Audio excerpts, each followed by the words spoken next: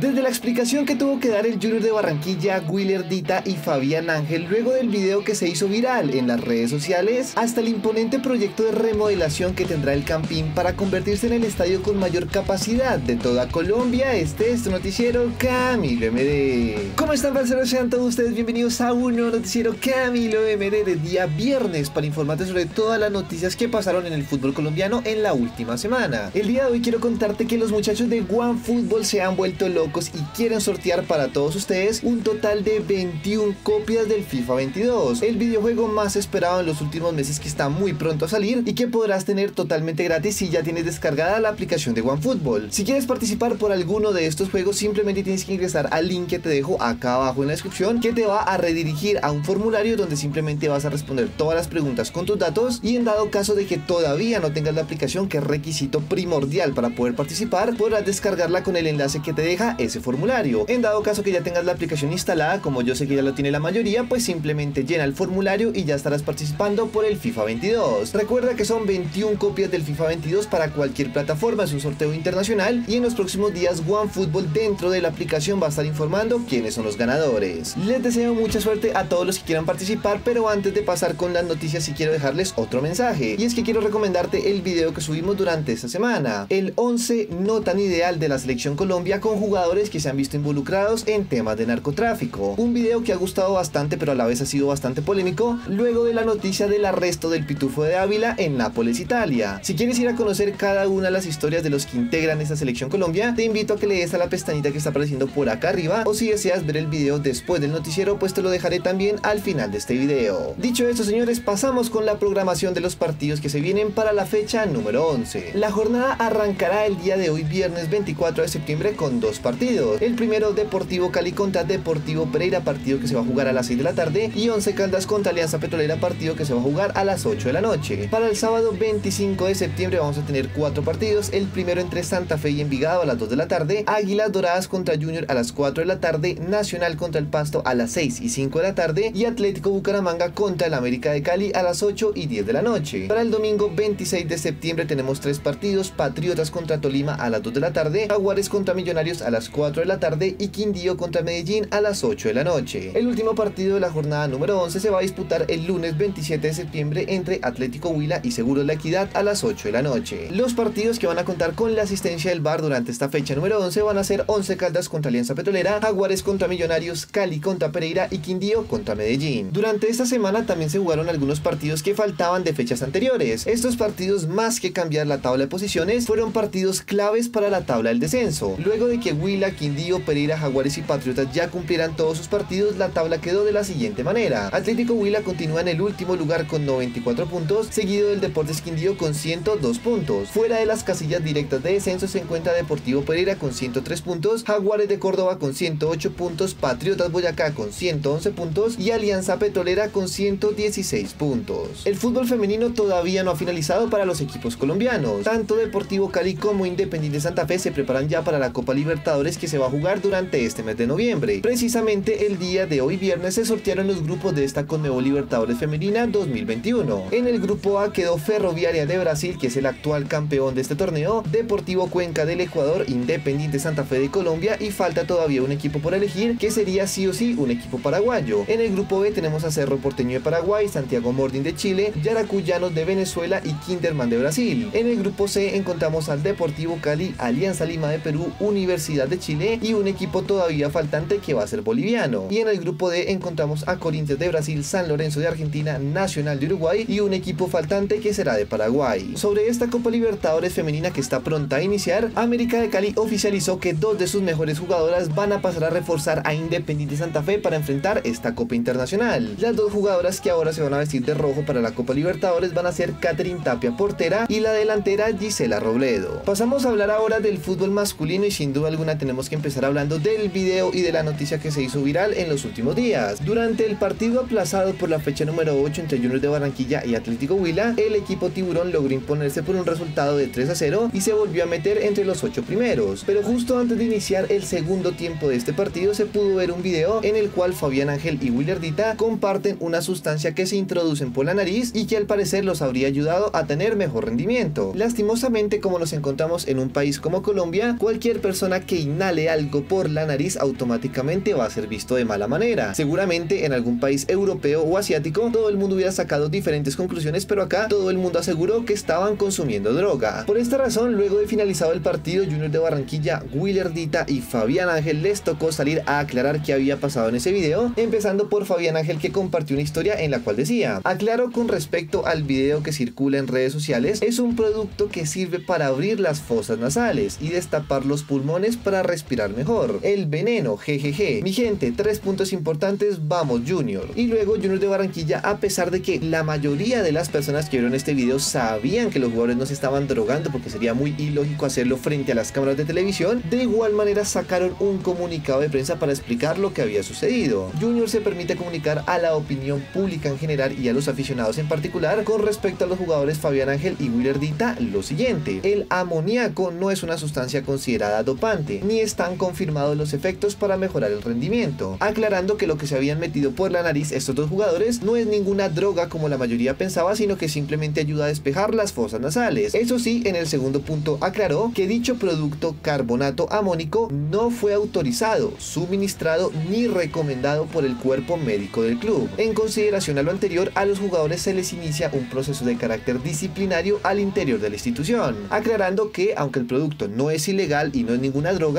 ningún médico del club les autorizó meterse eso por la nariz, así que seguramente los van a sancionar. Pero no fue el único video que se hizo viral en los últimos días y que tiene que ver con jugadores del Junior. El día de hoy, en las horas de la mañana, cuando el equipo se disponía a llegar hasta el aeropuerto Ernesto Cortizos para poder viajar a Antioquia a disputar su partido por la fecha número 11 contra Águilas Doradas, el equipo se vio sorprendido por un paro que están haciendo los transportadores en la ciudad de Barranquilla, bloqueando algunas vías de acceso a este aeropuerto. Por esa razón, el bus tuvo que parar en la mitad de la calle, se tuvieron que bajar todos los jugadores y cada uno de ellos junto al cuerpo técnico les tocó subirse a los mototaxis para poder llegar a tiempo a subirse al avión. El América de Cali tiene tres noticias que tienes que conocer en este video. La primera noticia seguramente va a emocionar a los hinchas del América de Cali, ya que el cuadro escarlata por medio de sus redes sociales informó que Adrián Ramos vestirá los colores del equipo por lo menos hasta el mes de diciembre del 2022. Una gran noticia para uno de los jugadores que mejor rendimiento ha tenido. La segunda noticia tiene que ver con su tercera indumentaria, la tercera camiseta que ya publicó la página de Umbro y también la cuenta oficial del América, que está inspirada en el Estadio Olímpico Pascual Guerrero. Esta camiseta que promedia un valor entre 180 mil y 200 mil pesos podría ser estrenada por el equipo en el próximo partido que se va a jugar durante este fin de semana contra Atlético Bucaramanga. Y la tercera noticia que tiene que ver con ese partido América Bucaramanga lo compartió el periodista Javier Mantilla en su cuenta de Twitter, asegurando que la alcaldía de la ciudad de Bucaramanga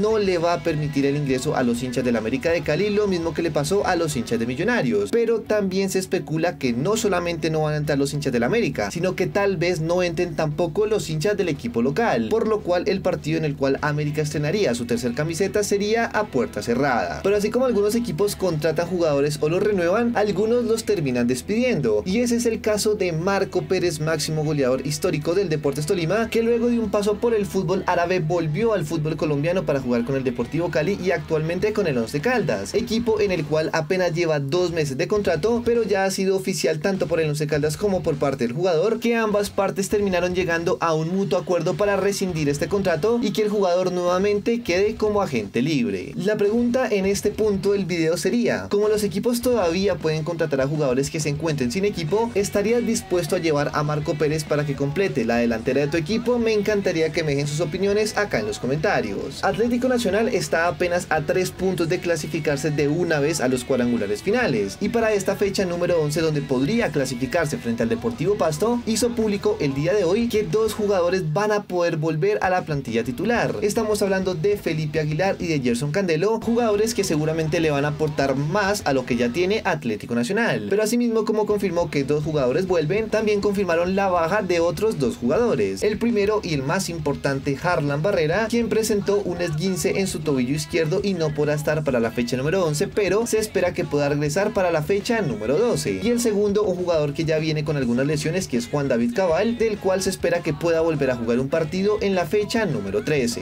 Y para finalizar este noticiero Camilo MD de día viernes, quiero hablarte del estadio Nemesio Camacho del Campín, el estadio de la ciudad de Bogotá que va a tener una remodelación bastante grande, según confirmó la directora del IDRD, Blanca Durán. Esta funcionaria, en una entrevista que hizo con el programa Blue Radio, confirmó que todas las tribunas del estadio estadio Nemesio Camacho Campín van a ser retiradas y se van a colocar unas nuevas tribunas con una capacidad mucho más amplia de la que se tiene actualmente. Al estadio aproximadamente le caben 35 mil personas y la idea es que con esta remodelación el estadio se convierta en el top 3 de los que más capacidad tenga en toda Colombia, llegando a albergar un aproximado de 50 mil espectadores. Asimismo, en esa misma entrevista que dio la directora del IDRD, también hicieron público un video de las nuevas luminarias que tiene el Estadio del Campín, que ya se han hecho presentes en los partidos de Santa Fe y de Millonarios. La iluminación de la mejor calidad está al nivel del Estadio Metropolitano de la ciudad de Barranquilla. Y hablando del estadio de la ciudad de Bogotá, tenemos que finalizar con un video bastante emotivo que compartió una cuenta de fans del equipo cardenal. Un video bastante fuerte en el cual se ve a una persona que se encuentra en la tribuna occidental colocando una foto de una persona que al parecer sería su esposa en una de las sillas donde habitualmente se sentaban a ver los partidos de Independiente Santa Fe. El video que se ha hecho viral en los últimos días deja ver un homenaje conmovedor de parte de un seguidor cardenal quien ha logrado de una manera romántica e ingeniosa seguir acudiendo al estadio al lado de la persona que él más quería. Y ese señores ha sido todo tu resumen deportivo en este tu noticiero Camilo MD. Dicho eso señores pasamos ahora sí con la sección más aclamada por toda YouTube Colombia, los memes de la semana.